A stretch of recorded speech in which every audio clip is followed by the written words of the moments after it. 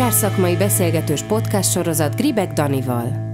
Tényleg államilag kellene betiltani a szántást? De mi lenne utána? És hol tart a talajmegújító vízmegőrző agrotechnológiák kutatásában és oktatásában a Magyar Agrár és Élettudományi Egyetem? Hogyan lehet szemléletet váltani a hazai mezőgazdaságban, amikor a fiatal szakemberek 2023-ban is szántóversenyen vesznek részt, a szakmai újságok, honlapok pedig változtatás nélkül hoznak le olyan PR cikkeket is, amiben azt olvashatjuk, hogy forgatni már pedig kell. Sziasztok, Gribek Dani vagyok, és ez itt a Hektár mezőgazdasági podcast magágy beszélgetés sorozata, benne Gyurica Csabával, a Magyar Agrár és Élettudományi Egyetem rektorával. Mielőtt viszont őt köszöntöm, titeket arra kérlek, hogy kövessétek be a Hektár mezőgazdasági podcastot YouTube-on, kapcsoljátok be az értesítéseket Spotify-on, Deezeren, Google és Apple podcaston, ha tetszett az adás, akkor mindenképpen nyomjatok egy lájkot és osszátok meg a műsort, hogy az algoritmus is felfigyeljen ránk, illetve minél több termelőhöz eljussanak azok a témák, amikkel máshol sokkal ritkábban találkozhattok. Honlapunk a www.hektarpodcast.hu, ahol hírlevelünkre is feliratkozhattok. Az adást a regeneratív átállás és a takarónövények hazai szakértője, a talajreform támogatta. Lazíts, amíg a takarónövények dolgoznak helyetted. A Hektár Podcast aktuális adását a Streamline stúdióban rögzítettük. A Hektár marketing tevékenységét a Vodafone Podcast Pioneers program támogatja, aminek köszönhetően még több hallgatóhoz juthat el a gazdálkodók hiteles hangja. Most pedig következzen a várva várt beszélgetés a Magyar Agrár és Élettudományi Egyetem rektorával, Gyurica Csabával, akinek életrajzáról, múltjáról nagyon sok mindent el lehet mondani, most viszont egyetlen apró, ám annál fontosabb momentumot szeretnék kiemelni, méghozzá azt, hogy fő kutatási területe a talajművelési rendszerek hatásának vizsgálata a talaj fizikai és biológiai állapotára, szántóföldi és kisparcellás kísérletekben a zöldrágyázás és a tápanyag visszatartó növények technológiájának kidolgozása, változó klimatikus feltételek mellett. Nem véletlenül ezt emeltem ki itt a beszélgetésünk elején. Rektor úr, köszöntelek a Hektár Magágy podcastjában. Köszönöm szépen a meghívást, örömmel jöttem, szervusz. Itt akkor még egy köszönet, hogy megengedted, hogy itt a podcast beszélgetés során tegeződjünk. Ugye azért itt ebben a műfajban sokkal könnyebb így, így beszélgetni. Különösen úgy, mint Gödölön végzett vadgazda mérnök, és az apropó szerintem minden hallgatónk tudja, hogy mi az, ami miatt most mi leültünk, főleg akik hallgatják a hektárt, és tudják, hogy nagyon sokat foglalkozunk regeneratív mezőgazdasággal, forgatás nélküli talajműveléssel. Ez pedig egy 24.hu-nak adott interjúd, ahol van egy nagyon erős idézet, és ez szerintem majd el fog hangozni a műsor során, de nem ezzel szeretnék rögtön indítani, hanem nagyon kíváncsi lennék, hogyha pontoznod kéne egy 1-től 10-ig terjedő skálán a magyar mezőgazdaság, a magyar agrárium fenntarthatóságát, és most itt gondolhatunk ugye gazdasági értelemben fenntarthatóságról, meg környezeti természetvédelmi fenntarthatóságról, akkor akár külön, akár egyben mit mondanál a magyar agráriumra 1-től 10-ig? Nem fogom megkerülni a választ, de, de nagyon nehéz erre válaszolni egy ilyen 10 pontos rendszerbe beskálázni azt, hogy hogy állunk fenntarthatóság szempontjából. Még egy dolgot én hozzátennék az általad elmondott gazdasági és, és környezeti fenntarthatóságot, a társadalmi. Uh-huh. Tehát az, az, ez egy nagyon fontos szempont társadalmi oldalról, hogy a közösségek hogy érzik magukat, mennyire komfortosak, mennyire segíti, támogatja azokat. Ez szintén része a, a fenntarthatóság kérdéskörének. Összességében én azt gondolom, hogy ha mindenképpen pontszámot akarsz, akkor, akkor egy, valahol egy jó közepesnél kell ezt meghúzni. Ilyen szempontból a gazdaságit és a környezetit szét kell választani, mert nyilván teljesen más a, a helyzet. Gazdasági oldalról, gazdasági mit jelent? A gazdasági azt jelenti, hogy mennyire rentábilis, mennyire ö, versenyképes egy rendszer fenntarthatósági oldalról. Ilyen szempontból azért tudjuk, hogy ha konkrét mérőszámokat nézzük meg, azért a magyar mezőgazdaság valahol a középmezőnyben van. Tehát, hogyha egy közepes számot adunk, most az ötös vagy hatos, akkor nagyjából az mutatja, hogy, hogy még van hova fejlődni környezeti oldalról én azt gondolom, hogy jobban állunk. Egyszerűen azért állunk jobban a gazdaságihoz képest, ha nézem, és nagyon sok fejletnek mondott országhoz képest, mert ha a levegőszennyezést nézzük, a talajszennyezést nézzük, a vizek szennyezését nézzük, akkor ebben a, a világországai között olyan országok közé is tartozunk, amelyek, amelyek viszonylag jól állnak ezen a területen, tehát egy picivel jobb pontszámot adnék, mondjuk heteset a környezeti fenntarthatóságra. A társadalmi fenntarthatóságot ilyen szempontból a gazdaság és a környezeti nagyon húzza, azzal korrelál, úgyhogy az is egy ilyen jó közepesre értékelni. Mik azok a pontok egyelőre vázlatszerűen, mert aztán ebből kiragadunk majd néhányat, például ugye a talajjal kapcsolatban, amik mondjuk ezt az ötös hatost, meg ezt a hetest, ezt minél közelebb tudná vinni a tízeshez. Gazdaságival kezdem, és nem azért, mert fontossági sorrendet akarok felállítani, hanem az előbb is erről beszéltünk először, akkor, akkor kezdjük azzal. Gazdasági oldalról a versenyképesség egy kulcskérdés, hogy hogyan tud gazdaságos rentábilis lenni egy, egy alkalmazott technológia, akár a termelésre, akár a, a feldolgozásra, az agrárium bármely területére értjük. A mezőgazdaság, és erről biztos, hogy sok, sokszor fogunk még beszélni, csúcs technológiai ágazattá vált az elmúlt időszakban, elmúlt években. Globálisan elképesztő a verseny. Olyan mértékű, olyan robbanásszerű a fejlődés, ami ami én azt mondhatom, hogy, hogy egyetlen egy más ágazat sem mondhat el magáról. Ilyen rakétaszerű, robbanásszerű fejlődés, mint amit a mezőgazdaságban lehetett látni, és ezt konkrét példákkal is bizonyítani tudom, ha kell. Elég, hogyha megnézzünk mondjuk egy, egy, egy jól felszerelt traktort. Sokkal bonyolultabb, sokkal összetettebb, mint bármely nagyon bonyolult autó, mondjuk az autóiparral szokták összehasonlítani, ugye csúcs technológiákazatnak tartunk. Tehát a, a mezőgazdaság, a műszaki, az informatika betörésével, a digitalizáció megjelenésével, a robotika megjelenésével, űrtechnológia itt van, tehát egy olyan összetett ágazattá vált, és egy olyan gyors fejlődés zajlik le, hogy aki ezt a fejlődést nem követi le, az nagyon hamar elavult technológiákkal dolgozik, és a gazdasági versenyképesség vissza fog esni. Ez egy kulcskérdés, és ezért rendkívül fontos az, hogy ebben a világon élenjárók tudjunk lenni. És azért adtam egy jó közepest ebben a tekintetben, mert azért a magyar technológia, a magyar mezőgazdaság színvonala Amellett, hogy jók az adottságok, majd erről is beszélünk nyilván, meg amellett, hogy, hogy nemzetközi szinten és globálisan egy elismert technológiai rendszerrel dolgozunk, és működtetünk, azért nagyon drágán termel ma, sok energiát használunk, nagyon sok élő munkát használunk, és ennek megfelelően a versenyképességünkben van javítani való. Ezt elég, hogy az élelmiszerek áránál megnézzük. Amikor fölmerül az a kérdés, hogy miért drágább magyar élelmiszer, amit itt helyben termelünk meg Magyarországon, mint a külföldről behozott import élelmiszer. Ez többnyire ezzel van összefüggésben, hogy itt Magyarországon több élő munkával, több energiával állítjuk elő, tehát költségesebb, drágában termelünk versenyképességi, azaz gazdasági fenntarthatósági oldalról van hova fejlődni ezen a területen. Ez az egyik kulcskérdés, ami, ami talán így a legfontosabb, és ezzel a két kérdés körét el is mondtam, ami, amit a legfontosabbnak tartok. Nyilvánvalóan az alap a tudáson kívül, az alap információkon kívül. A környezeti egy másik dolog. Részben az első kérdésnél említettük már ezeket, hiszen, hiszen a környezeti fenntarthatóság azt mutatja meg, hogy talajokkal hogyan bánunk, hogyan kezeljük a talajokat, hogy élő organizmusnak, élő szervnek, élő rendszernek tekintjük a talajokat, vagy csak támasztó közegnek tekintjük. Ez egy nagyon fontos kérdés, és szemléletbeli kérdés, hogy, hogy honnan indulunk, mert a legtöbb vita, meggyőződésem szerint, az ebből fakad, hogy a kiindulási pont mi, amikor minden rendszernek az elejéről beszélünk, ami a talaj. Minden a talajból indul ki. Ha végig gondoljuk az egész mezőgazdaságot holisztikusan, rendszer szinten, akkor mindennek a kiinduló pontja a talaj. És ha belegondolunk, hogy mivel foglalkozunk a legkevesebbet, akár szakpolitikai szinten is, akkor az a talaj.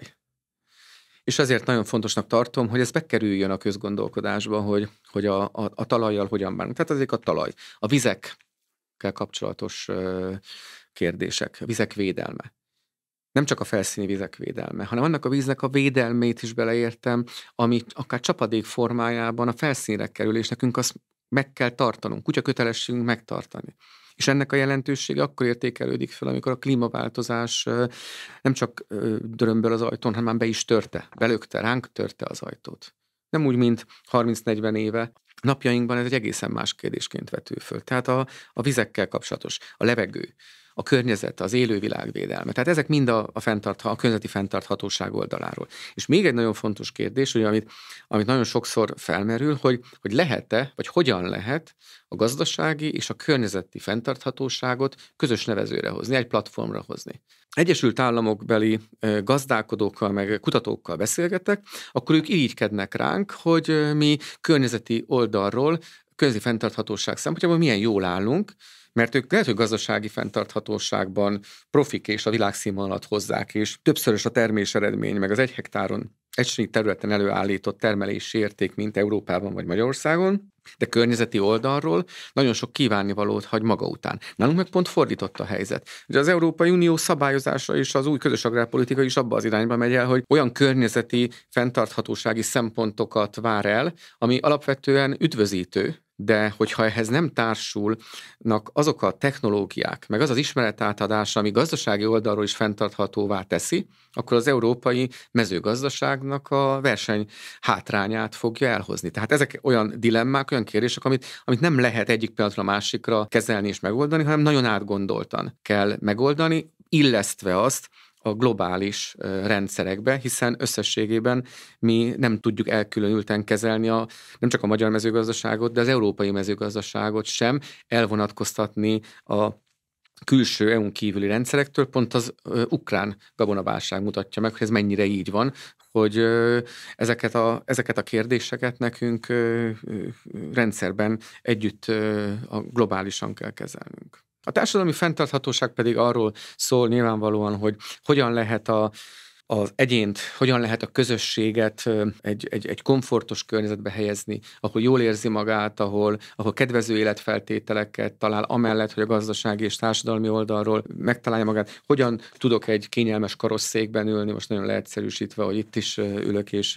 érzem magam. Tehát egy olyan környezetet, ami, ami tudja erősíteni a környezet és a gazdaság összhangját is, hiszen végső soron azért az, az ember az, aki, aki műveli, aki, aki a tudását hozzáadja ahhoz, hogy, hogy mind gazdasági, mind környezeti, mind társadalmi oldalról sikerüljön egy, egy hosszú távon működő képes rendszert felállítani, olyat, ami a gyerekek, a gyerekeink és az unokáink számára is még használható környezetet fog kialakítani, illetve megtartani. Itt a versenyképesség kifejezés az többször elhangzott, és az Agrárújságírói Facebook oldalamon kiraktam, hogy ma veled fogok podcastolni, és hogy lehet témákat bedobni. Bóna Szabolcs, Rába Pordányi mezőgazdasági ZRT elnöke például azt a kérdést tette fel, hogy szerinted állattartás nélkül, állattenyésztési ágazat nélkül beszélhetünk-e versenyképes mezőgazdaságról Magyarországon. És tudom, hogy ez egy óriási téma, tehát erről nyilván egy külön podcastot is lehetne, de hogy mégis, amikor, amikor itt magyar agrárium versenyképességéről beszélünk, akkor az állattartásnak hol van a helye ebben? Nagyon jó a kérdés, és a válasz is egyértelmű. Hát mondhatom azt, hogy a költői nem beszélhetünk nyilvánvalóan állattartás, állattenyésztés nélkül versenyképes mezőgazdaságról, mint ahogy nem beszélhetünk versenyképes mezőgazdaságról, arra ráépülő élelmiszer feldolgozás arra épülő kereskedelem, marketing és épp, tehát a teljes termékpálya felépítése nélkül. Horizontálisan és vertikálisan, ronda kifejezéseket használjak. Ugye a horizontális jelenti azt, hogy a növénytermesztés, az állattenyésztés, a kertészet egy rendszerben tud működni. Hát a, a szántással kapcsolatos vita az arra nyúlik vissza, arra a kérdéskörre, hogy kell szántani, vagy nem kell szántani, most abban nem akarok még itt belemenni, hiszen nem ez volt a kérdés, hogy tudjuk-e a talajainkat termővé tenni, tudunk-e növényeket termelni, tudunk-e tápanyag visszapótlást, növénytáplálást végezni, hát állatok nélkül nem lehet az állat ebben is egy nagyon fontos segítőeszköz, és amikor az új rendszerek egyre inkább teret hódítanak a világban, mint amilyen a regeneratív mezőgazdálkodás. Ugye viszonylag új fogalomról van szó, legalábbis Magyarországon kevésbé az elmúlt 6-8 évben jelent meg a, a köztudatban, még egyetemen én sem tanultam, nem használtuk ezt a, ezt a kifejezést, tehát ez pontosan erről szól, hogy, hogy önmagában a növénytermesztés nem ragadható ki a természet rendszeréből ahhoz gyepgazdálkodásra, legeltetésre, állattartásra, állattenyésztésre van szükség, mert csak együtt, egy rendszerben lehet úgy fenntartani talaj állapotát, azt, azokat a fenntarthatósági kritériumokat, amiről az előbb beszéltünk, ami egy rendszerben tudja kezelni ezt, a, ezt, a, ezt az egész ágazatot. Támogatás politika ilyen szempontból mindig meghatározó hogy a gazdálkodók hajlamosak azt nézni, hogy mit támogat a szakpolitika, mit támogat a közös európai politika, és ahhoz igazítja a termelését. Ez egy óriási felelőssége a támogatáspolitikának, de egy nagy lehetősége is, akkor, hogyha, hogyha ezeket a szakmai kritériumokat jól definiáljuk, fogalmazzuk meg. Ma az a helyzet, hogy, hogy van egy túltámogatott növénytermesztés, és én nem is kárhoztatom azért a gazdálkodókat, hogy mindenki növényt akar termelni. Hiszen, hogyha az egyéni szinten, vagy gazdálkodói szinten nézem, akkor a gazdálkodónak, akinek földje van, ma az az érdeke, hogy növényt termeljen. Sokkal kevésbé érdekes sajnos az, hogy állatot tartson. Mert most nagyon leegyszerűsítek, és ez megint majd egy, mondhatod, hogy, hogy egy súlyos mondat, de ha ma megtermelem a, a gabonát, megtermelem a takarmányt, és azt én megetetem az állattal, akkor azzal gyakorlatilag ha az elmúlt ö, éveket nézem, idén a növénytermesztés sajnos egy szintén ö, kritikus helyzetben van, de, de elégetem, egy értékcsökkenést érek el azzal, hogyha én azt az állat ba teszem, állatba fektetem, az állattal etetem meg, szemben azzal, mintha én azt alapanyagként értékesítem. Csak ez a szemlélet, ez a gondolkodás vezet oda, hogy mindenki csak növényt akar termelni, és a végén nem marad állat. Ugye Magyarországon is évtizedek alatt, az elmúlt évtizedek során azt értük el, azt látjuk, hogy az állat tenyésztés, az állatok állománya, állatlétszám folyamatosan csökken, egy-két kivétel, tehát talán a baromfi az egy üdítő kivétel, de egy meghatározó a sertés állomány. Valamikor rendszerváltás 10 millió fölött volt, ma már a 3 millió alá is lementünk, és akármilyen sertés stratégia, meg kormányzati intézkedések vannak, nem tud nőni az száma, mert egyszerűen a piaci körülmények nem teszik lehetővé, és a támogatás politika sem abban az irányba mutat. Tehát ezeket sokkal inkább össze kellene kapcsolni, és ebben az érdekeltséget kialakítani. Amíg ez nem történik meg, én addig azt gondolom, hogy szólamok szintjén lehet változtatásokért kiabálni, de tényleges eredményt csak nehezen vagy szerény mértékben fogunk elérni sokat emlegetted a talajt, a, a talajművelés kérdéskörét, és azt is mondtad, hogy ránk rúgta az ajtót a klímaváltozás, talán így fogalmaztál. Ezt nagyon sok szempontból lehet érzékelni, látni, de vajon tényleg lehet érzékelni, látni gazdálkodói szinten, mert hogy ugye itt volt a 2022-es nagyon extrém asszály, és bár én is az agrárújságírói munkám során látom, hogy történt valami elmozdulás itt a, a talajműveléssel, takarónövényekkel, stb. stb. stb. De hogy a, a tömeg, talán azt is mondhatom, hogy a kritikus tömeg még mindig mindent ugyanúgy csinált az idei évben is. Ez így van. Én megmondom őszintén, még így 50 évesen is voltam annyira naív, hogy azt gondoltam, hogy a 2022-es év az vízválasztó lesz lehetett érezni az elmúlt időszakban is, gazdálkodóként is, konkrét számokon keresztül, hogy, hogy a, a klímaváltozás, és én azért fogalmaztam úgy, hogy nem kopogtat, hanem már ránk törte az ajtót, mert, mert ennek számos jelen, nyoma van. Hát ha most a szeptembert megnézzük, soha ilyen meleg szeptemberünk nem volt. Ha megnézzük az elmúlt 20 évben a hőmérsékleti rekordokat, akkor, akkor azt látjuk, hogy abból 10 évben olyan rekordokat döntöttünk meg, meg értünk el, ami 1900 óta, 1901 óta, amióta meteorológiai mérés van a az országban soha korábban nem volt tapasztalható. Hát ez azért azt mutatja, hogy, hogy a tendenciákat nézzük meg, a hőmérséklet, átlaghőmérséklet emelkedését, ez mind azt mutatja, hogy,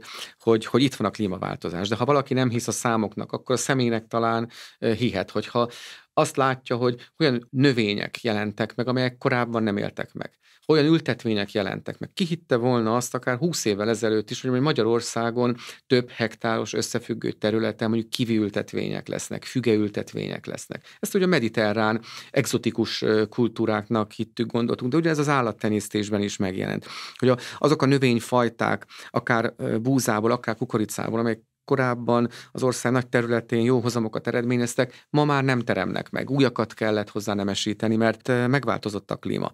Szóval ebben a tekintetben azért ez egy jelentős változás volt, de 22 az vízválasztó volt, hiszen 22-ben gyakorlatilag, aki még végigment az Alföldön, az a saját szemével láthatta tetszőleges irányból, tetszőleges irányba, hogy, hogy meghalt a, a, az Alföld, elpusztult az Alföld, kihalt az Alföld sivár kukoricatáblák, mint egy sivatag, mint egy science fiction film, olyan volt az Alföld, riasztó volt, ijesztő volt.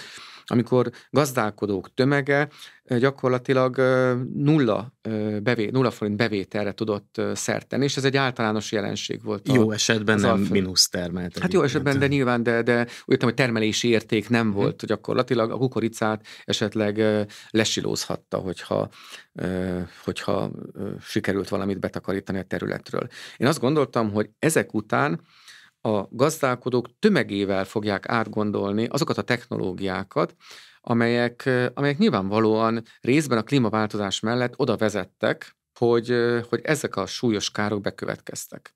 Azt kell látni, hogy 50-60 éve alkalmazott technológiákkal ma már nem lehet jövedelmezően, versenyképesen, fenntarthatóan termelni. És a 22-es év ebben a tekintetben át fog fordítani, egy paradigmaváltást fog eredményezni. És számomra az volt megdöbbentő, hogy, hogy nagyon sokan leültek, nagyon sokan elkezdtek gondolkodni. Aki ezzel kapcsolatban kételyeket fogalmazott meg, vagy kevés volt az ismerete hozzá, az olyanokhoz fordult, aki, aki ebben segítséget tud adni, információt tud adni, hozzánk is nagyon sokan jöttek. De azt láttam, hogy alapvetően, hogyha nagy tömegével nézem, nem történt érdemi változás. Ugyanúgy elkövetjük azokat a hibákat, amelyeket 2022-ben, 2022 előtt elkövettünk, és amelyekkel ugyanúgy pazaroljuk a nedvességet a talajból, ugyanúgy talajromboló gazdálkodást folytatunk, és azt látom, hogy sokan még arra is képesek, hogy akár abba hagyják a gazdálkodást, vállalják a, a tönkremenetelt, de nem hajlandók változtatni, nem hajlandók tanulni. És számomra ez egy, ez egy szörnyű felismerés volt, és akkor döntöttem úgy, hogy, hogy valami nagyon komoly dolognak kell történni, nagyon, ö, nagyon kemény dolgokat kell megfogalmazni ahhoz, hogy, hogy, hogy próbáljunk meg tabukat döntögetni, falat lebontani, mert, mert nagyon súlyos következményei lesznek annak, hogyha azt az értékes termőföldet, az a gazdálkodói réteg, aki sajátjának tekinti a termőföldet nagyon sok esetben, ha ezzel úgy gazdálkodik, hogy egy évtizeden belül, ha ezt folytatjuk és nem változtattuk, úgy tesszük tönkre, hogy a következő generációnak nem lesz mit átadni. Ma már azért lehet látni, hogy ezek nem csak riogatások, nem csak ijeszgetések, és nem csak ilyen nagy szavak, mert talán szembe jött velünk a valóság. És ha nem most, akkor mikor lépjünk, mikor kell, mikor változtassunk? És ha megengeded, akkor most idéznélek téged. Furcsa lesz, hogy itt ülsz a stúdióba, és a szav- saját szavaidat hallod vissza, de azt gondolom, hogy ez egy ilyen magyar agrárium szempontjából ezt lehet, hogy még sok évtizedig fogjuk emlegetni ezt, a, ezt az interjút, bár említetted itt a beszélgetésed, hogy te már beszéltél ezekről, de mégis ez volt, ez a, ez a 24.hu-nak adott report, ami átütötte azt gondolom a, a falakat, és akkor egy részt kiemelve ebből, idézlek, Magyarország egy szántó ország, mindent felszántanának. Ezzel szemben ma már azt gondolom, hogy a szántást államilag be kellene tiltani, és nagyon súlyos szankciókkal sújtani annak érdekében, hogy ezeket a káros hatásokat el tudjuk kerülni. Tudom, hogy ezek kemény mondatok, de vállalom. Valamit tenni kell, mert Magyarországon a talajt szervezetten, hagyományosan, rendszer szintűen tesszük tönkre. Hát nagyon sok kérdésem van ezzel kapcsolatban, de, de kezdjük talán azzal, hogy, hogy milyen reakciókat kaptál ezekre a, a, a mondatokra a különböző körökből, és most azt engedjük el, aki nem szakmabeli, aki indulatosan kezelte ezeket a gondolatokat, milyen reakciók csapódtak le nálad, és ezek, ezért fontos ez a kérdés, mit jelentenek a, a számodra mondjuk a jövőre nézve? Éppen 30 éve foglalkozom talajhasználattal, talajműveléssel, ezekkel a kérdésekkel, hiszen már másodéves egyetemistaként elköteleztem magam a talajjal, a, a talaj gyakorlati használatával, az egész életpályám, szakmai pályám erről szólt, akadémiai doktori értekezést előtte, PHD értekezést ebben a témában készítettem, gyakorlatban is én 8 éven keresztül vezettem gazdaságot, tehát elméleti gyakorlati oldalról is szereztem ismereteket, és ezeket a, ezeket a problémákat évek óta mondjuk, mondom. Nagyon büszke vagyok arra, hogy nekem Virkás Márta volt a professzorom, aki a egyik legismertebb, legelismertebb magyar agrárprofesszor még ma is. És ezeket a professzorasszony is rendszeresen mondta, fölhívta a figyelmet ezekre. Én magam is használtam már ilyen súlyos és, és kemény szavakat, kifejezéseket is. Az kétségtelen, hogy ez a 24 pont hús interjú volt az, ami azt nem mondom, hogy áttörte a falat, de megrepesztette, fogalmazunk így. Lehet, hogy, lehet, hogy jobb, igen, jobb így, így Talán megrepesztette, mert, mert ott még nem tartunk, hogy azért a falat áttörje, de, de a, azt gondolom, hogy talán erre is meg lesz a, a lehetőség. A, a reakciókra kérdeztél rá, az kétségtelen először is, hogy több száz telefont, SMS-t, e-mailt kaptam a következő napokban. Engem is meglepett, hogy, hogy ennyire sikerült nem csak a szakmai inger küszöböt elérni és átlépni, hanem, hanem a társadalom szélesebb rétegét is. És enne, én ennek különösen örültem. Mert a, a szakmában főleg azok a szakemberek, akik rendszer szinten ismerik a problémákat, természetesnek vettem, hogy, hogy támogatóak és, és, és elismerőek voltak. De, de nagyon sok esetben, az esetek 99%-ában én rengeteg pozitív visszajelzést kaptam, biztatást, gratulációt, amit nem is értettem, hiszen ez a szakmám, ezzel foglalkozom, ezt természetesnek veszem, ez a kötelességem is, hogy, hogy ezekre fölhívjam a, a figyelmet, de persze természetesen jól esett. Én közvetlenül negatív kritikát nem kaptam.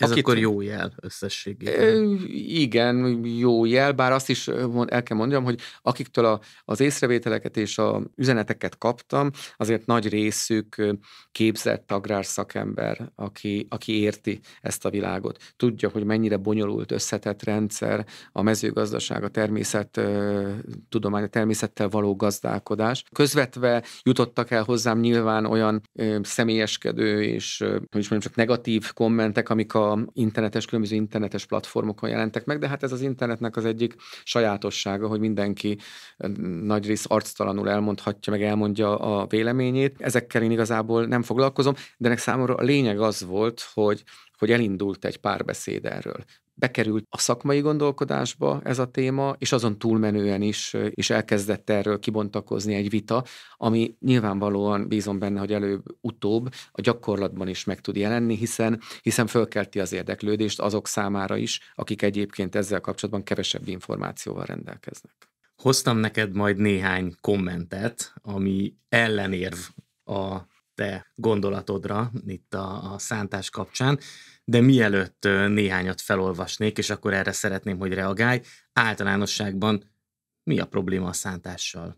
Nyilván a hektár hallgatók azok nagyon sok ilyen információval rendelkeznek, tehát most egy ilyen tényleg egy ilyen, egy ilyen naív kérdést tettem fel itt. Nem naív a kérdés, a, mindenekült azzal szeretném kezdeni, hogy nem a szántással önmagában van baj. Teljes talajhasználati rendszerünkkel van probléma. Ugye az önmagában gond, hogy a szántást kiragadjuk ebből hiszen amikor talajt rendszerként tekintjük, már pedig rendszerként kell tekinteni, akkor abban a talajművelés mellett a növénytermesztési sorrend, a termelési sorrend, a vetésforgó, a vetésváltás, a tápanyag visszapótlás, a nedvességgel való gazdálkodás egy teljes rendszerben jelenik meg. Alapelv kiindulás az, hogy a talajt élő rendszernek kell tekinteni. Hogyha a talajt szimplán támasztó közegnek tekintjük, akkor semmi gond a szántással. De ha élő organizmusként tekintem, akkor a szántás az a legdrasztikusabb, a legdurvább beavatkozás a talaj állapotába.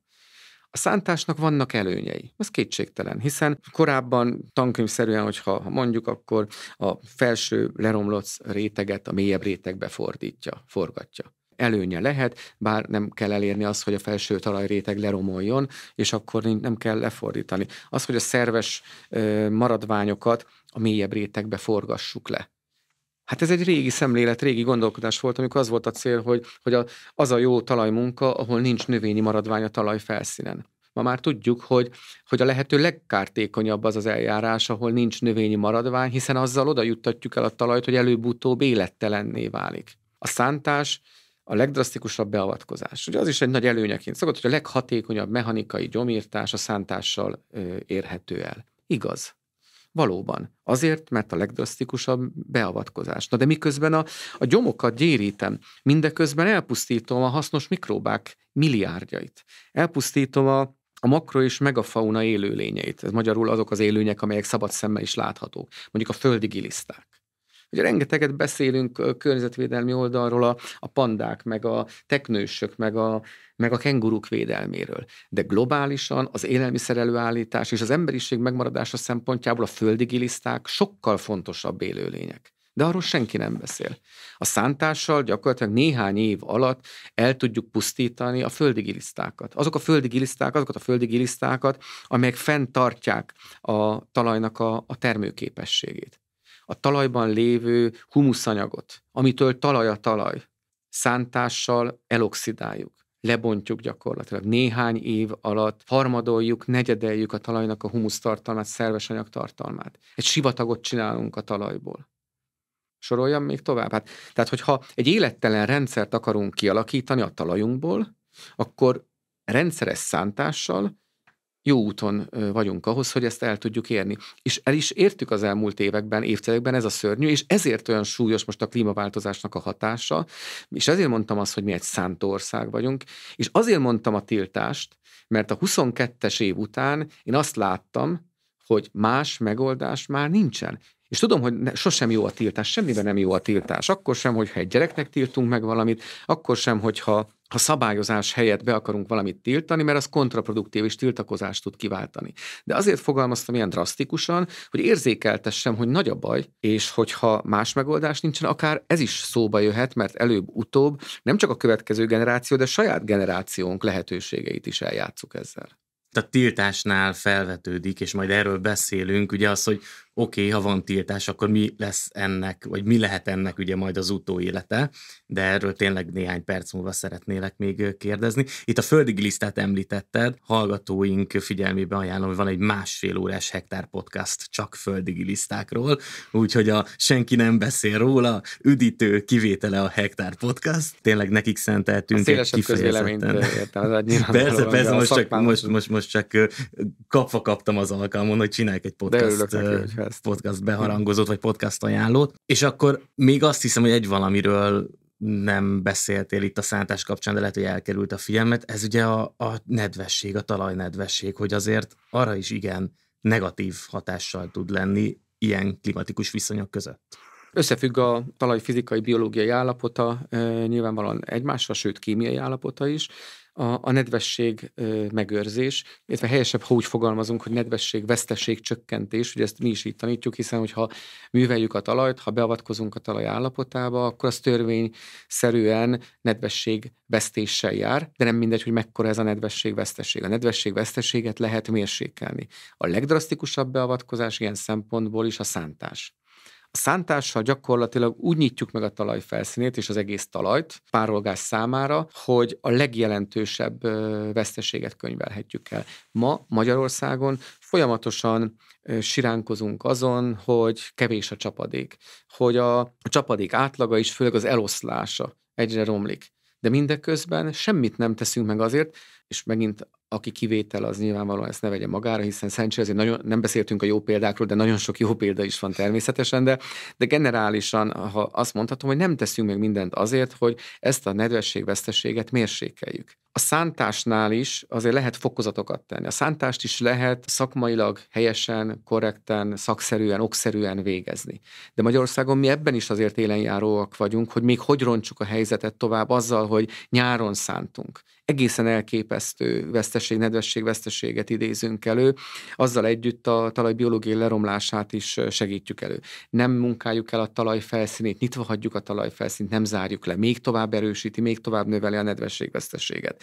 Magyarországon ma a talajra hulló csapadéknak összességében körülbelül 50%-át elpazaroljuk. Tehát azt jelenti, hogy ha 400 mm csapadék leesik egy évben, abból 200 mm-t mi úgy pazarnunk kell, mintha korlátlanul állna rendelkezésre, és mindeközben panaszkodunk arra, hogy, hogy nincs elég nedvesség, és mindeközben siránkozunk, hogy nincs elég öntözött terület az országban, miközben azt a nedvességet sem tartjuk helyben, amit meg lehetne őrizni, és akkor lehet a nedvességet megőrizni, amikor van, ez egy szakmai alapelv, arra az időszakra, amikor kevés van. Mert amikor az asszályos időszak jön, akkor nekünk az, hogy olyan talajállapotot kell visszahagynunk, ami a lehető legtöbb nedvesség befogadására képes, amiben nincsen tömörzáró réteg, ami akadályozza a fel- és altalaj zavartalan átmenetét, ami, ami lehetővé teszi azt, hogy a nedvesség a mélyebb rétegekbe bejusson, és ez egy szárazabb, aszályosabb időszakban a növény rendelkezésére tudjon állni. És ugye a 22-ben itt volt az óriási hiba, hogy a megelőző éveknek a hibái köszöntek vissza egy aszályosabb esztendőben. Ilyen szempontból a szántás egy kritikus művelési eljárás, mert ebben a hatalmas veszteségben amiről beszéltem nedvességpazarlásban, a szántás kiemelkedő szerepet játszik. Azzal, hogy nincs felszíni növényborítás, a szerves anyaggazdálkodás mellett a felszíni növény takarás hiányában akadálytalanul tud a légkörbe távozni a nedvesség, és egy olyan szerkezet leromlást indít el, ami utána egy önmagát gerjeszti, és évről évre a talaj ellenálló képessége csökken, hiszen azzal, hogy a szerves anyagtartalom lebomlik, a nedvesség megtartó képessége csökken a talajnak, és egy idő után még több műveléssel, még több szántással, még több műtrágyával lehet csak a talajnak a kedvező állapotát, kvázi kedvező állapotát fenntartani, ami a termelés biztonságot egy darabig tudja garantálni, vagy legalább azt a termésszintet elérni, amit megszoktunk, és eljutunk oda, hogy végül élőből élettelen közeg legyen, és a talajból mindössze egy támasztó közeg legyen,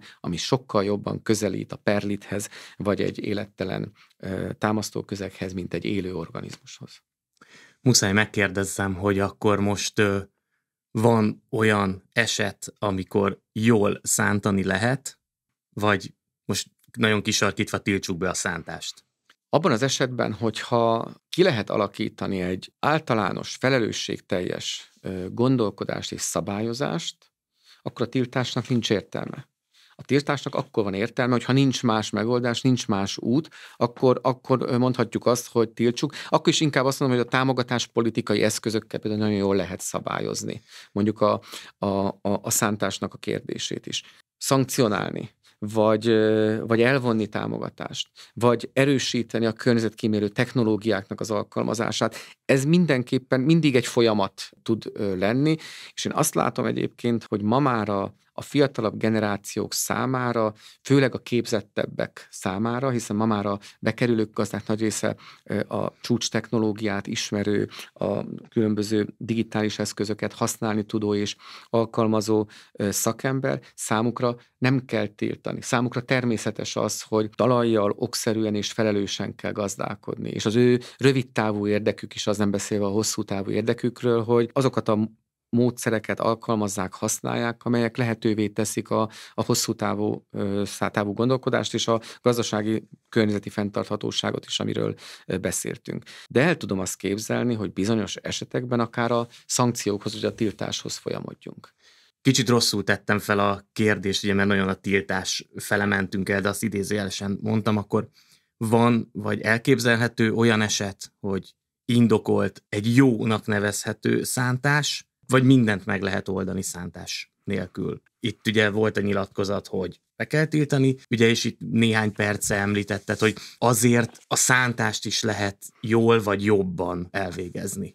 Igen, akkor ezt eh, tegyük tisztába. Tehát amikor én a, a tiltásról beszéltem, világosan megfogalmazta azt, hogy be kellene tiltani a szántást, akkor ezt a 2022-es év utáni nagyon sok esetben felelőtlen hozzáállásra értettem, hogy ebben a helyzetben nem látok más megoldást. Ezt most félig tréfásan mondhatom, hogy ha azt mondtam volna, hogy bizonyos esetekben be kell tiltani a szántást, akkor valószínűleg most mi se beszélgetnénk itt, mert nem repesztette volna meg a, a, a falakat. De a szántásról beszéltem, de ahogy mondtam, nem csak a szántásról szól ez a történet, hanem a Világos. teljes gazdálkodási rendszerünk, stratégiánknak a, a megváltoztatásáról, a megváltoztatás szükségességéről, egy komplet paradigmaváltásról, ami elkerülhetetlen és szükségszerű ahhoz, hogy a megváltozó klímához, a megváltozó feltételekhez, globális kereskedelmi és, és mindenféle feltételekhez, a legújabb csúcs technológiákhoz alkalmazkodjunk. Tehát egy ilyen ébresztőt, vagy ilyen riadót is próbáltam ezzel, ezzel fújni, hogy ébresztő, mert nagyon sürgősen tennivaló van ezen a területen, nem ülhetünk a, a babérjainkon,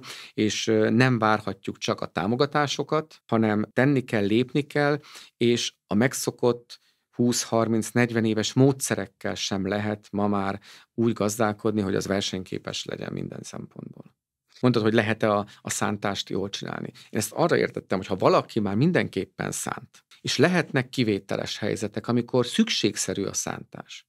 Tehát például itt van a pocok invázió, ugye, ami most egy, egy kritikus probléma az Alföld nagy területein.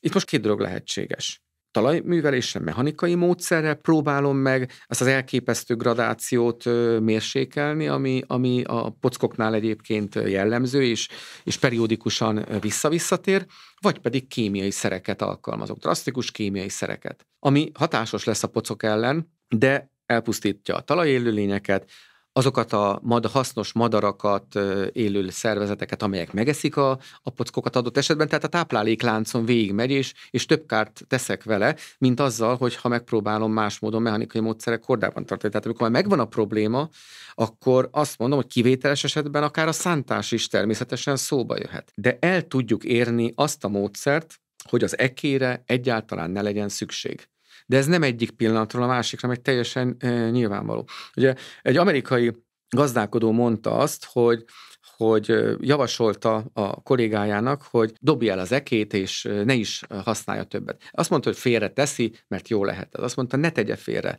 Használjon egy regeneratív rendszert, használjon egy könyvkímélő rendszert, és utána ne is használjon ekét, ne is lássa az ekét, mert még véletlenül hozzányúl.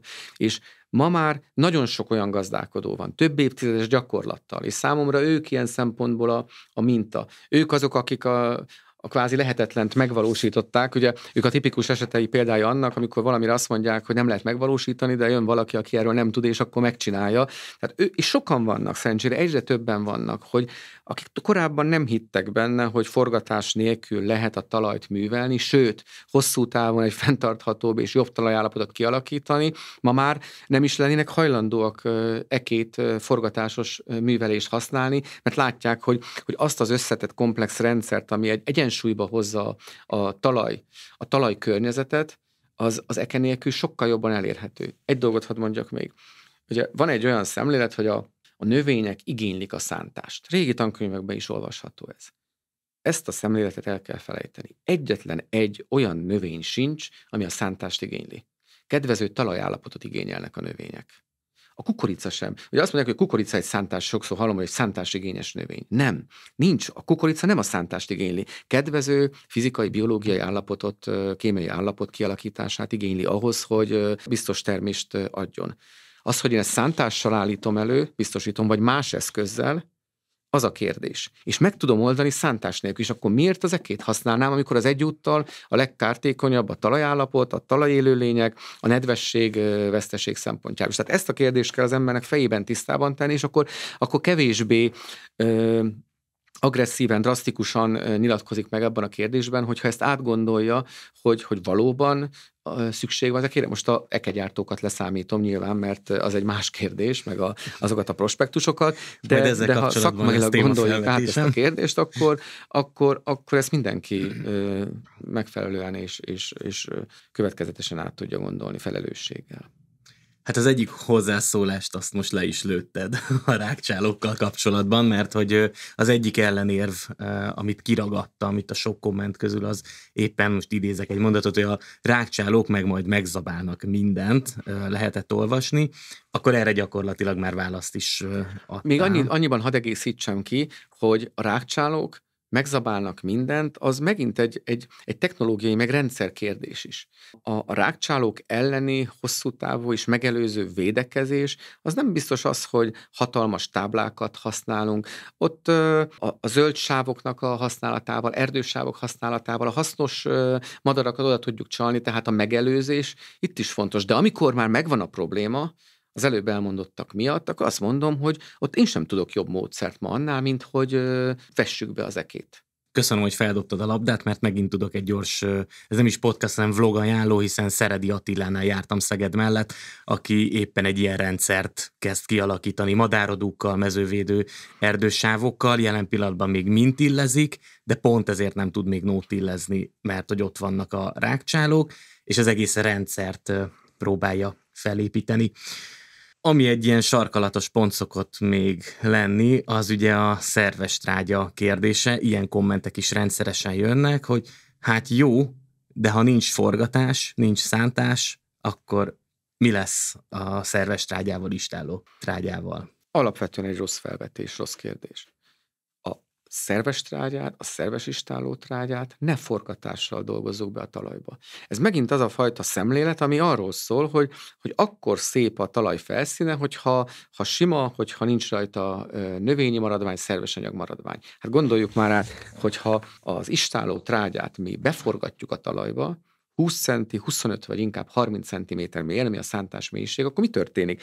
30 cm mélységben, egy rétegben ott lesz a szerves trágya, ahol többnyire már egy tömör záró réteg is ö, keletkezik, ahol a lebomlása is akadályozott. Sok esetben egy anaerob, tehát levegőtlen körülmények közötti fermentáció, lebomlás indul el, és pont a, a legfelső talajréteg egyenletes, ahol egyenletes eloszlásra lenne szükség a szerves anyagokban tekintetében, ott meg nem lesz belőle semmi. Hát a szerves anyagot, ez vonatkozik a tarlómaradványokra, növényi maradványokra, a zöld trágyára is, az istáló trágyára is, nem beforgatni kell, hanem bekeverni a talajba.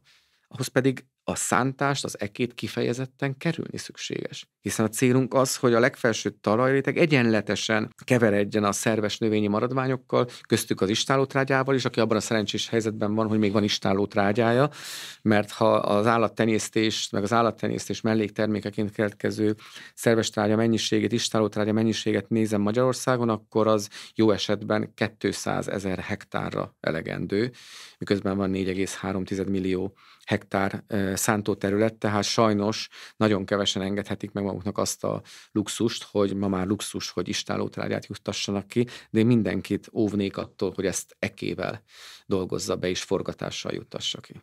Következő komment, kertészeti kultúrában nem lehet kihagyni, próbáltam, nem megy.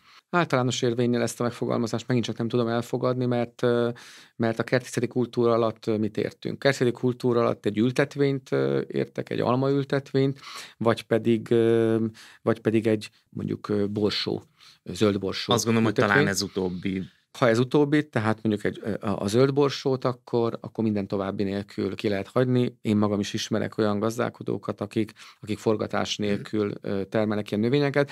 Az, az ültetvények esetében már fölmerülhet a kérdés. Ott a, a talajállapottól függően, a korábbi talajhasználattól függően elképzelhetőnek tartom, de én azt gondolom, hogy talajtani szakvéleményt mindenképpen csináltasson valaki, hogyha ha ilyen jellegű ültetvényt akar, hiszen egy ültetvény az egy hosszú távú befektetés, egy beruházás, 20 évre, 30 évre alapozza meg a, a talajmunkát, tehát ott át kell e, gondolni, de hogyha tömör záró réteg van, akkor is az akkor a legjobb eszköze nem a szántás, nem az eke az eltüntetésére. Arra a lazító kiválóan alkalmas. Ma már olyan talajművelő eszközök, olyan lazítók, lazítókések, akár részben forgató lazítókések állnak rendelkezésre, amely képes azt a talaj fizikai állapotot elérni, amit az ekével tudnánk, de kevésbé károsító, kevésbé romboló módszerrel. Ma már szerencsére azt mondhatom, hogy a műszaki fejlesztés azon a színvonalon van, hogyha valaki a forgatás nélkül technológiával kíván dolgozni, akkor ehhez minden lehetséges módszer rendelkezésre áll.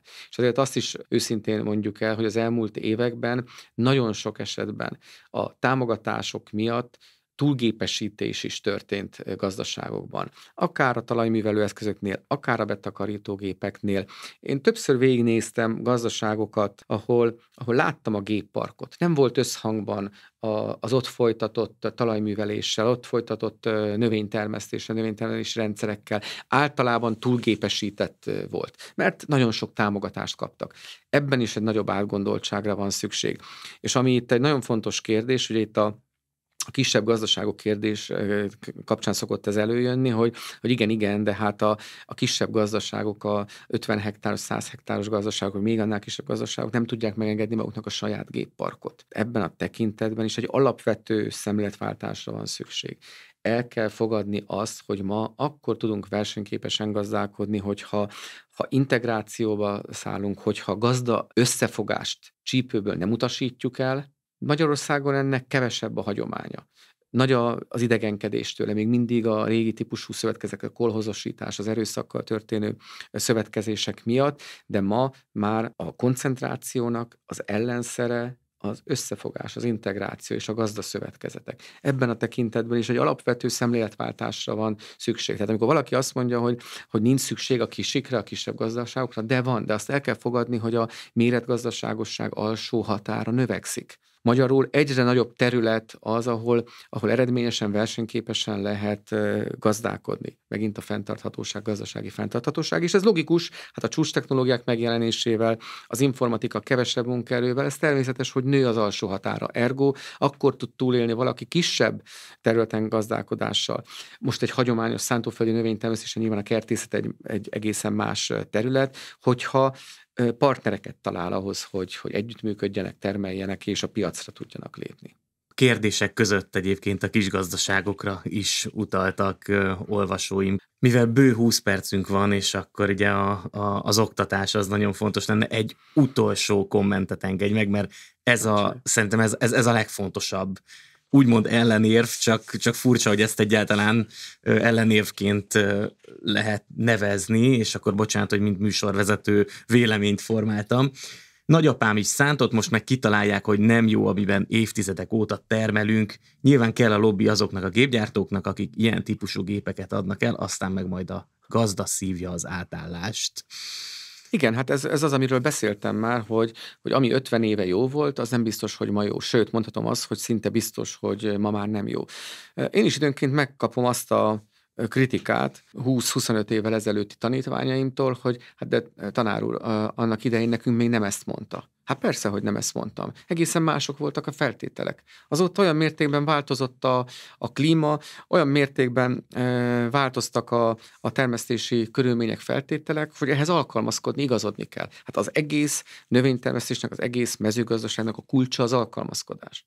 Ugye volt egy tantárgyunk, még Birkás Márta tanította, találta ki, az volt a neve, hogy alkalmazkodó talajművelés. Ez pontosan arról szól, hogy alkalmazkodni a talajállapotához, alkalmazkodni a megváltozó feltételekhez. A lehető legrosszabb gondolkodás és szemléletmód az, amikor azzal találkozom, hogy, hogy nekem nem mondja meg senki, hogy hogy csináljam, mert már a nagyapám is így csinálta, meg, meg az ükapám is ezt csinálta, és ezért én is ezt fogom csinálni. Ennek szinte ma azt mondhatom biztos következménye a kudarc a csalódás és a, a belebukás.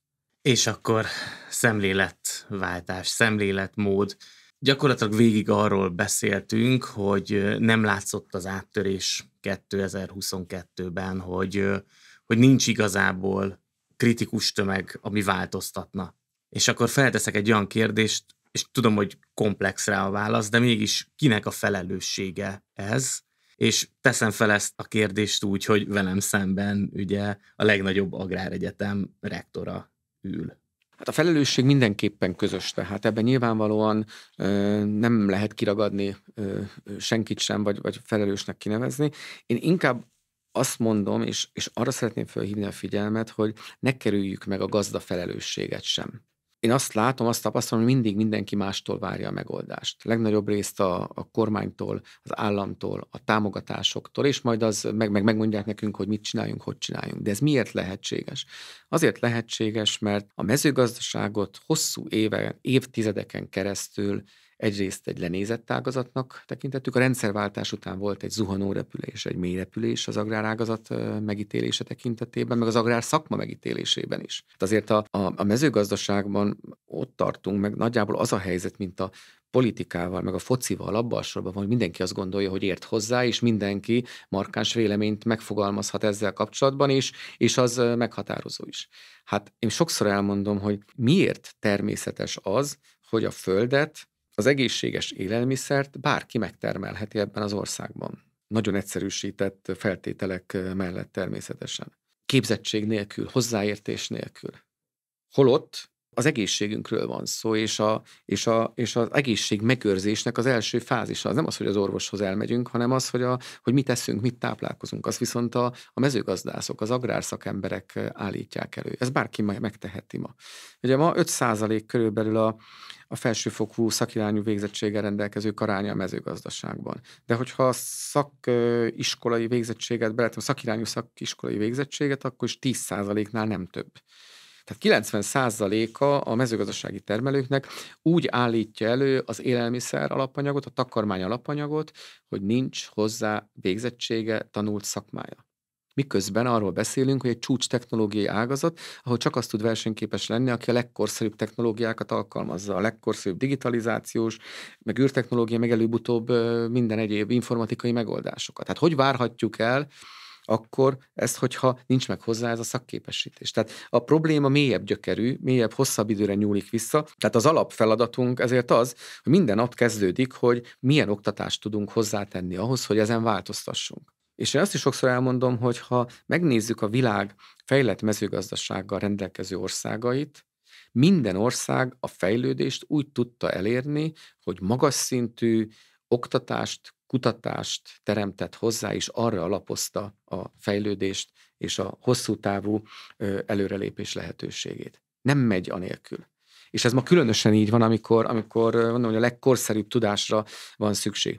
Ergo nekünk növelni kell azok arányát, akik a legkorszerűbb ismeretekkel rendelkeznek, és a gazdálkodást tudatosan, tervszerűen, okszerűen így végzik. Haladunk ezen a területen, azért azt kell, hogy mondjam, és ebben a, az a generációváltás, amit sokszor problémaként, meg nehézségként élünk meg és hoznak föl, én lehetőségként élem meg. Hiszen azok az új belépők, akik még hogyha kevesebben is vannak, mint, mint a jelenlegi gazdálkodók, nagy része már igényli a tudást, rendelkezik a legkorszerűbb tudásra, és tudja azt is, hogy hova nyúljon akkor, amikor a még korszerűbb ismeretekre van szükség. Mert ma az a helyzet, hogy ami ma korszerű tudás, az legkésőbb három-négy éven belül elavultá válik. Jönnek újabb ismeretek. Korábban ez több generáció volt, 30-40 év.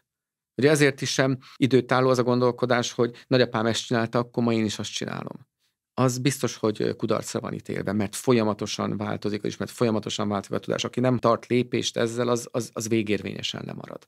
Tehát ebben a mi felelősségünk és az oktatás felelősség, a kutatás felelőssége óriási, és ezért eszenciális, ezért alapvető, minden innen indul ki, erre lehet csak építeni a jövőt, egy olyan jó adottságokkal rendelkező, agráradottságokkal rendelkező országban, mint Magyarország. Mert vannak adottságok, jó adottságok vannak, erre lehet építeni, hatalmas a potenciál benne, de ehhez meg kell teremtenünk az intellektuális hátteret. És nyilván ugye itt a CIE-ből mate átalakulás is nyilván az egyik cél, az, az, az ez volt.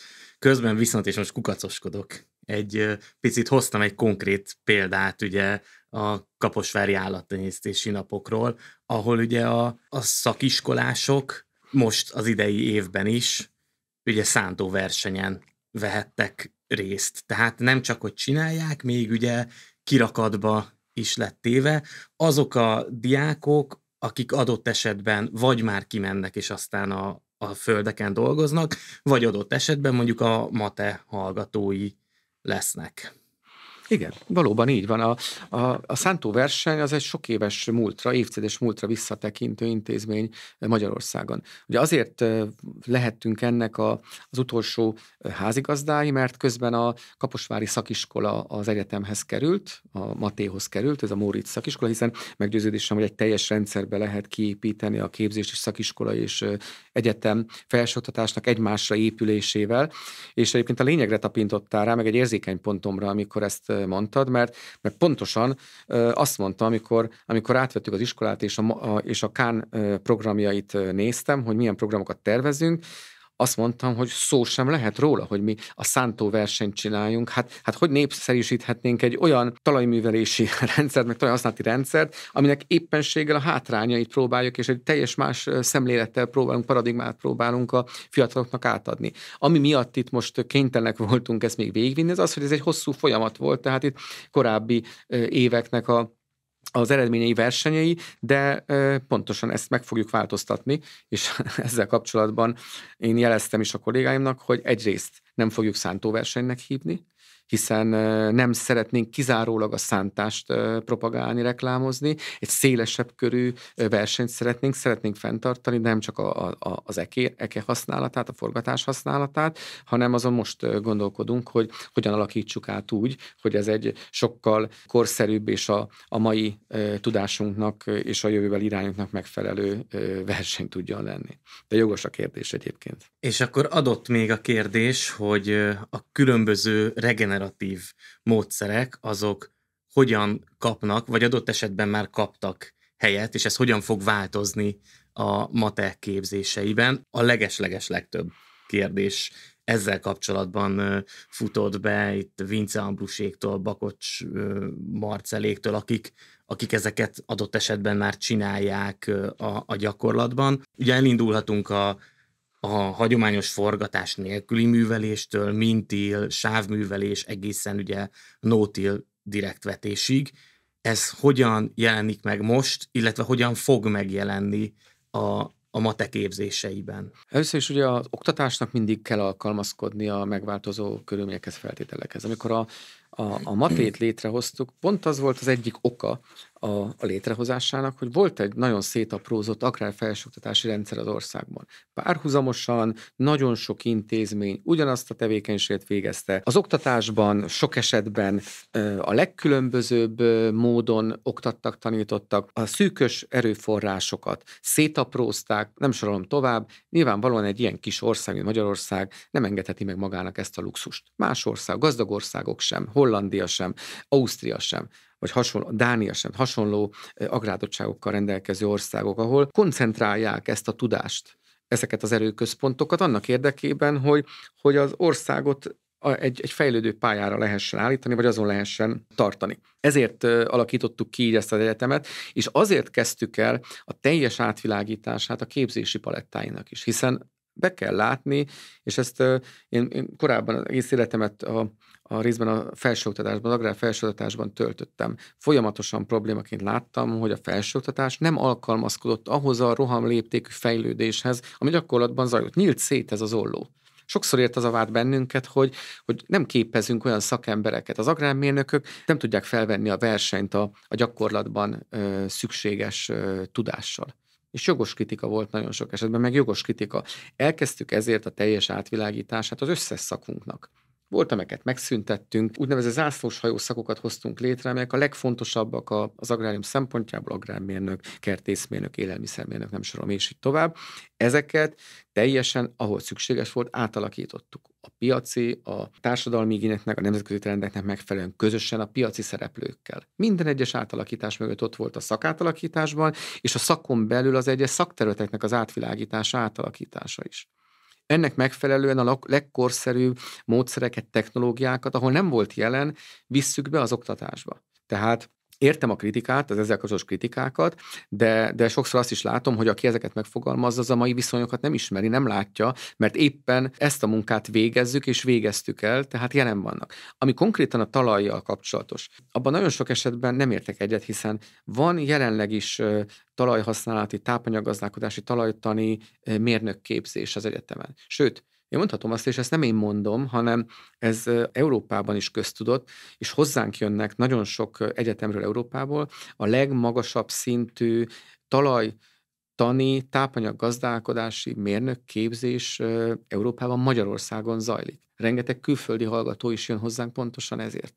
A regeneratív gazdálkodáshoz kapcsolódó ismeretek, akár a nótil, akár a sávos művelés, a különböző környezetkímélő alkalmazkodó, fenntartható technológiák, Gödöllőre jártál, szerintem te is találkoztál ezekkel az ismereteket. Birkás Márta évtizedek óta tanította ezeket. Én magam is tanítottam ezeket. Ami a regeneratív talaj használatnak, gazdálkodásnak a kérdését illeti, ez a gyakorlatban is egy, egy új elem. Van egy nagyon fontos feladatunk ezen a területen, világosan meg kell fogalmazni azt, hogy mit értünk regeneratív gazdálkodásra. Mert ez sem világos van. Mindenki mond valamit, de ebben a tudománynak is van még egy adóssága. Ezt nekünk kell világossá tenni, és egyértelművé tenni, megfogalmazni, és arra fölépíteni a gyakorlattal közösen azokat az alapokat, amely révén egy nagyon jelentős előrelépést tudunk tenni az elkövetkezendő időszakban. Ez a munka elindult, közösen zajlik, közösen azokkal a szereplőkkel, akik ebben meghatározók. Nem akik meghatározónak gondolják, gondolják magukat, hanem azok, akik valóban magas szintű tudást, gyakorlati tudást is hozzá tudják tenni. Mert én nagyon sokszor kapok kritikát olyanoktól, akik magukról azt gondolják, hogy ők ennek a felkent apostolai, de hát megint csak azt tudom mondani, hogy, hogy azért ez egy összetett gondolkodás, tudást igénylő ágazat, terület, szakterület, amiben igenis a leg korszerűbb és a legalaposabb agrártudományi, természettudományi alapismeretekre is szükség van, és ezt az egyetem tudja megadni mindig.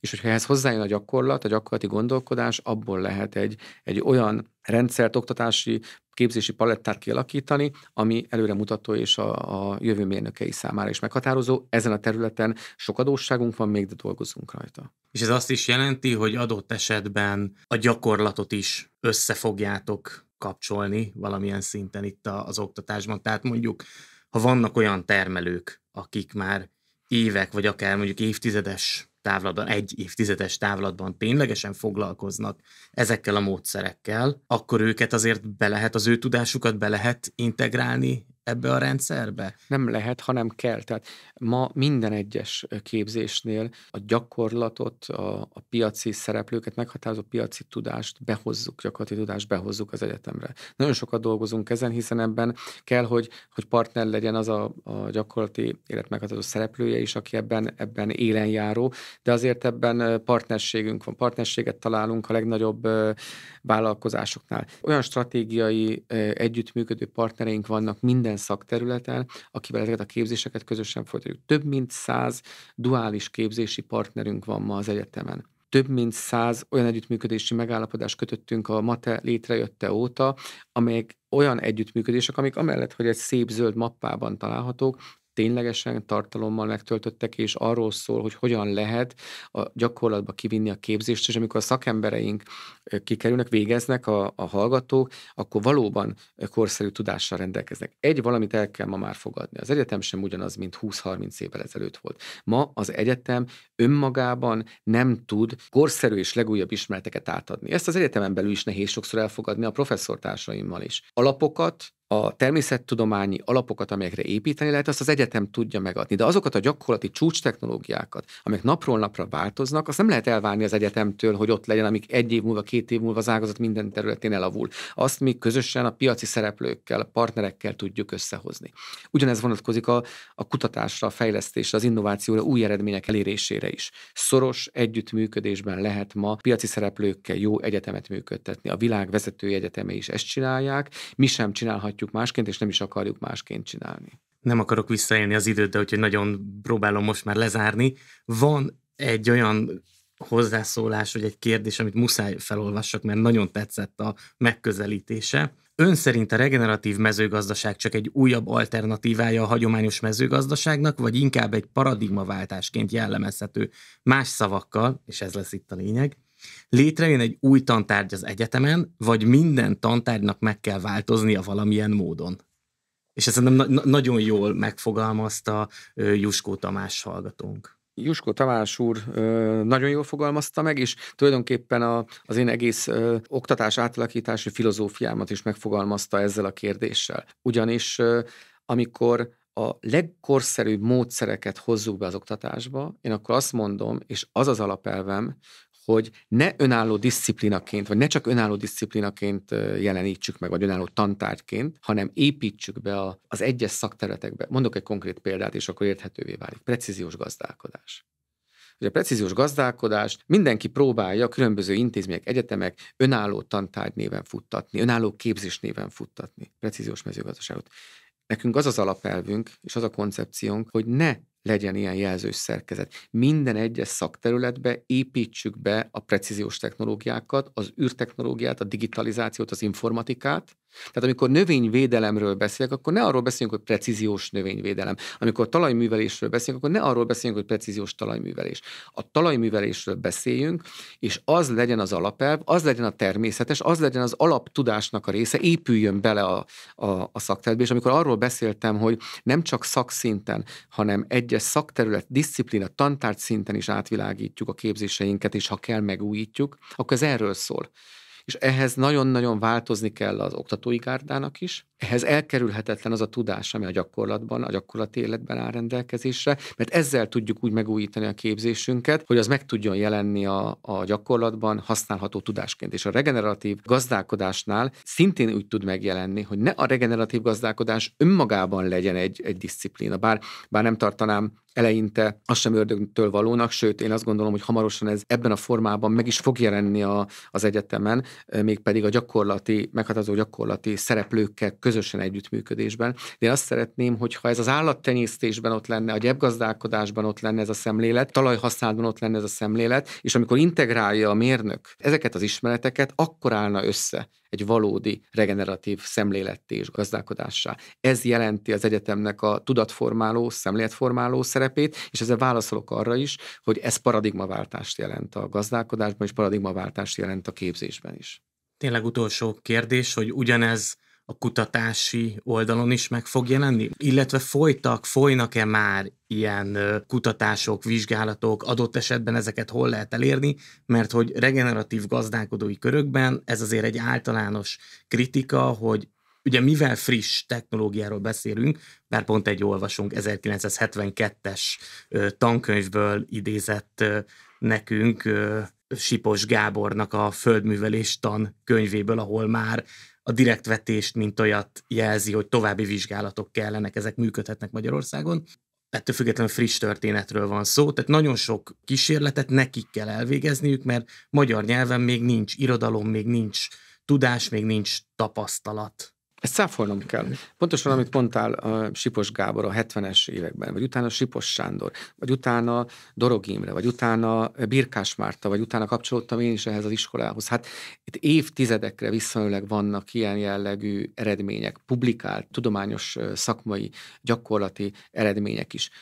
Tehát ami mondjuk a, a direktvetés meg a környezetkímélő talajhasználatot illeti. De azért azt tegyük világossá, és ebből is látszik a, a kérdésből, hogy a regeneratív gazdálkodás definíciója sem teljesen tiszta és világos, és ez a mi hibánk, ez, ez nem gazdálkodói felelősség, ez a tudománynak a felelőssége, hogy ezt, ezt meghatározza és megfogalmazza, világossá tegye, mert a regeneratív gazdálkodás sokkal több, mint a nóti, sokkal több, mint a környezetkímélő talajhasználat, abban az állattenyésztés, a, a gyepgazdálkodás, és a, a többi ágazatnak a rendszer szintű megközelítése van. És azért beszéltem erről, amikor a, amikor a szántást emeltük ki, hogy amikor a szántás tiltásra beszélünk, vagy a szántással kapcsolatos problémákról, akkor sokkal súlyosabb probléma ennek az eredője. Ez pontosan ide nyúlik vissza, és azért mondtam, hogy egy nagyon komoly szemléletváltásra van szükség ahhoz, hogy ebben a tekintetben konszenzus tudjon lenni, és ez, ez, ez ilyen módon meg fog jelenni. Nagyon sok eredmény elérhető, nyilván ebben a mi hibánk is, felelősségünk is benne van, hogyha ez talán kevésbé látható vagy, vagy, vagy elérhető, de aki megkeres bennünket, aki talán meg akarja ezeket találni, ma már rendelkezésre áll, mindenkit óvok attól, hogy a Facebookot, az internetes platformokat feltétel nélkül elfogadja. Ilyen szempontból nyugodtan forduljanak a tudományhoz, forduljanak azokhoz a validált és ellenőrzött tudományos kutatási eredményekhez, amelyek rendelkezésre állnak Magyarországon is, meg egyébként nemzetközi szintéren is. Nem mondom, hogy könnyű folyamat az, ami most most rosszul, én is rosszul fogalmaztam, mert említetted, hogy nem most indult el, de hogy most meg, megrepesztetted a falat, főleg akkor, amikor rögtön néhány hétre az, az, össz, az egész szaksajtót, ugye például bejárta olyan PR cikk, ahol ö, ekegyártótól, ahol ilyeneket hallunk, vagy olvashattunk, hogy a jó terméshez szükség van a talajforgatásra, és a többi, és a többi. Tehát van egy marketing ellen zaj is, ezt látni és tudni kell, de én remélem, hogy ez minél hatékonyabb és minél gyorsabban beérő folyamat lesz, akár nálatok a matén, akár más területeken. Gyurica Csaba, Magyar Agrár és Élettudományi Egyetem rektora. Köszönöm szépen, hogy elfogadtad a meghívásomat, és válaszoltál a kérdéseimre. Köszönöm szépen a beszélgetést én is.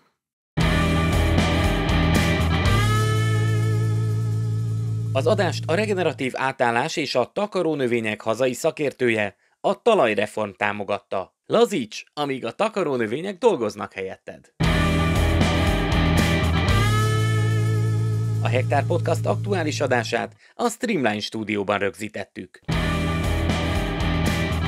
A Hektár marketing tevékenységét a Vodafone Podcast Pioneers program támogatja, aminek köszönhetően még több hallgatóhoz juthat el a gazdálkodók hiteles hangja.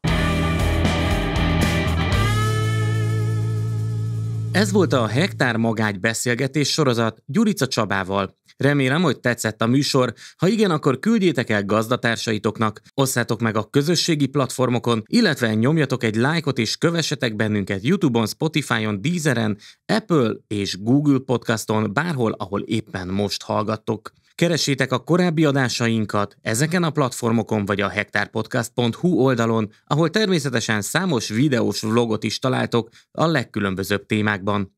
Sok podcast terven van az őszi-téli hónapokra, de a ti véleményetekre is kíváncsi vagyok, hogy milyen témákat dolgozzak fel vendégeim segítségével. Ezt nyugodtan megírhatjátok a számomra. Köszönöm, hogy velem tartottatok. Gribek Danit hallottátok. Ne felejtjétek, óvjátok a talajt és a környezetünket. Sikeres gazdálkodást kívánok!